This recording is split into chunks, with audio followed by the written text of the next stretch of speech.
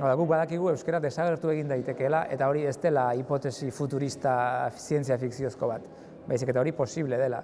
Eta horrek behar bada ematen digu ezaugarri edo bizipen diferente bat frantsesiztun batek edo gazteleradun batek ez daukana. Eta da, zure, zure oinenpean dagoen hizkuntza hori, zure tresna hori, ba ez dela betirako. Eta hori frantses batek edo espainol batek ez du pentsatzen.